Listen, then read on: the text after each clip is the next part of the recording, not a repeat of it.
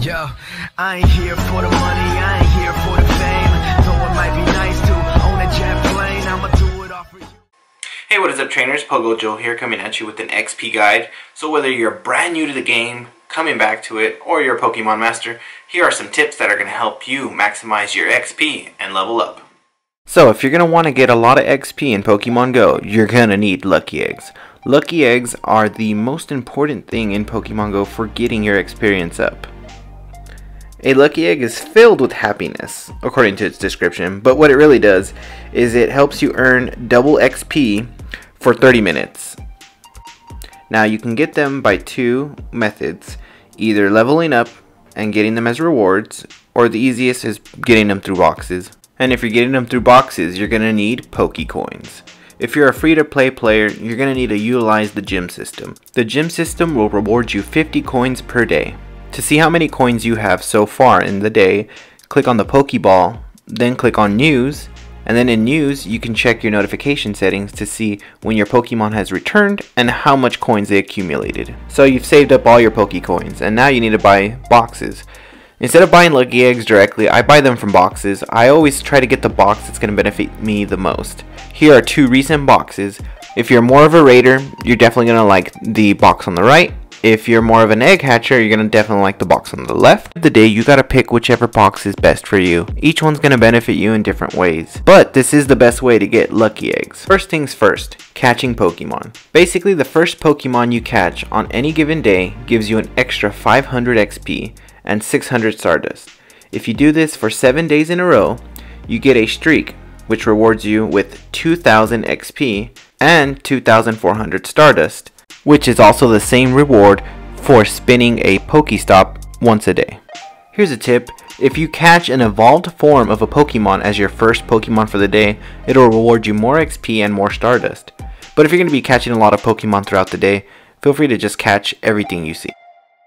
Here's another tip, research tasks. By not claiming a Pokemon right away for your research tasks, you can actually stack them and save them, catch them all at the same time. You can stack up to 99 Pokemon. All you gotta do is when you go to claim your research Pokemon, just run away from it and it'll appear at the top of your stack. Remember, these research Pokemon have a 100% catch rate, so you're gonna catch them.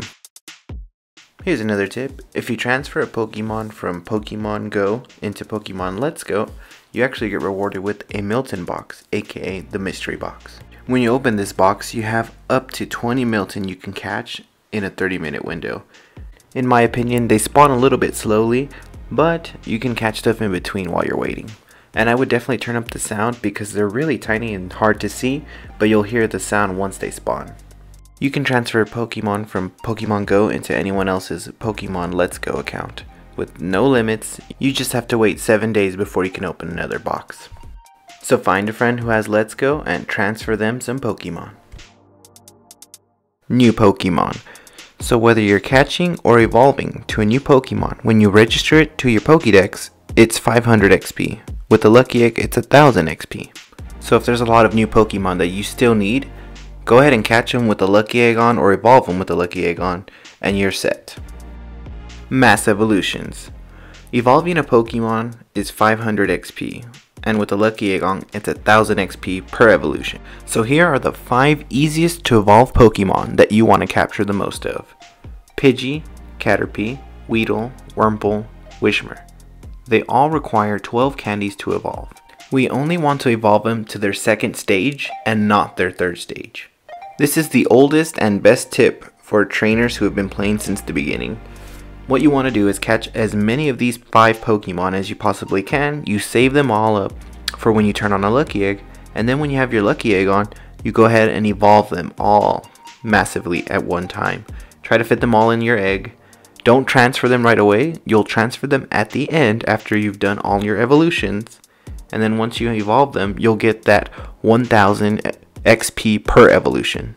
Remember, you only want to evolve them to their second stage because it only costs 12 candy. So if you were to evolve, let's say Pidgeotto to its third stage and not the second stage into a Pidgeot, it costs you 50 candy when at the same time you could have evolved 4 Pidgeys into a Pidgeotto. So make sure you're evolving to the second stage and don't go past that. This next tip is optional. You could use pineapple berries to help you get more candy for Pokemon that you want to evolve.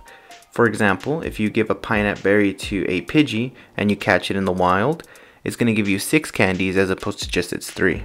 I did this a lot when I was trying to get to level 40 previously. Now I just save most of my pineapples for community days, but I still do this every now and then when I'm trying to get XP up. Hatching eggs. So hatching eggs is another great way to get XP. You'll earn 100 XP per kilometer that you hatch your egg. So a 2 kilometer egg will get you 200 XP, 400 with the lucky egg. A 5 kilometer will give you 500 XP, 1000 with a lucky egg, and a 7 kilometer will get you 700 XP, 1400 with a lucky egg, and a 10 kilometer egg will get you 1000 XP, 2000 with a lucky egg. Here's another tip, mass hatching. What you want to do is if you have a lot of incubators, you want to put a lot of eggs to incubate around the same time so when they hatch, they all hatch around the same time and you have a chance to pop a lucky egg to get all of the XP all together. The next best tip is raids. Doing multiple raids in one lucky egg is ideal. A tier 1 raid will give you 3000 XP, 6000 with the lucky egg, a tier 2, 3500 XP, and 7000 with the lucky egg. A tier 3 will give you 4000 XP, 8000 with the lucky egg, a tier 4, 5000 XP, 10,000 with the lucky egg. A legendary raid will give you 10,000 XP and 20,000 with a lucky egg on. So grab a group and try to do as many raids as you possibly can with one egg.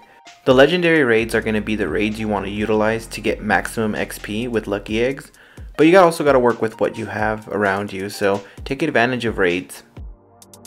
Friendship in Pokemon Go is the best way to gain XP. Friendship in Pokemon Go has so many advantages. For example, it gives you extra damage for when you go into battle. You get extra Premier Balls after you do a raid, so you have more chances, more opportunities to catch whatever the raid boss is. You have a reduced Stardust cost in trades. Every time you send a gift, you get 200 XP. So you're building to work up your friendship. You get one activity per day. That could be a trade, a battle, uh, do a raid together, battle a gym together. So you're working to build up your friendship level. Level 1 is Good Friends. It's only one day of activity and it gets you 3000 XP. Level 2 is Great Friends. That's 7 days of activities. That is 10,000 XP. And then Ultra Friends is level 3, which is 30 days of activity. You get 50,000 XP. And Best Friends, 90 days of activity, gets you 100,000 XP. Now, if you're using a Lucky Egg, you'll get 6,000 XP for Good Friends. Great Friends would get you 20,000 XP.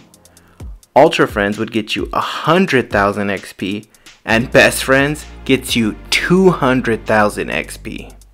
Now you definitely want to coordinate with your friends. Be a really good friend, guys. Coordinate with your friends when you're about to level up in friendship. I would definitely utilize Ultra and Best Friends. That's the one that's going to get both of you guys the most XP. Communicate using Messenger, Discord, Telegram, whatever you guys have. Communicate, work together on those days. Make sure you both have lucky eggs on. If one of you opens a gift and doesn't notify the other person right away, notify them as soon as you open the gift and tell them that once they've logged back into the game to pop a lucky egg right away. If you pop a lucky egg right away and you catch it right before that animation pops up, you will still get your friendship level boost and the lucky egg boost. Friendship in Pokemon Go really helped me to get to level 40. It's going to help me get there twice and it's going to help everyone if you utilize it well and communicate. Friendship is so amazing, you'll see me get 1 million XP right here in this 30 second clip with just using friendship and a lucky egg.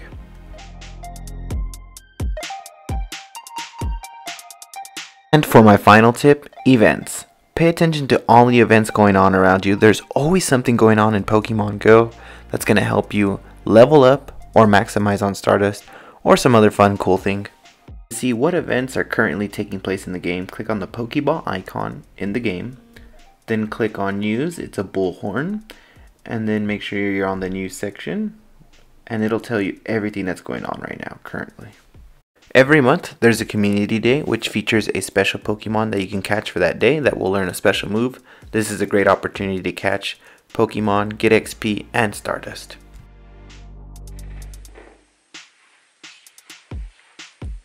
Alrighty trainers, there you have it. Those are my best tips for you for getting the most XP as fast as possible and leveling up.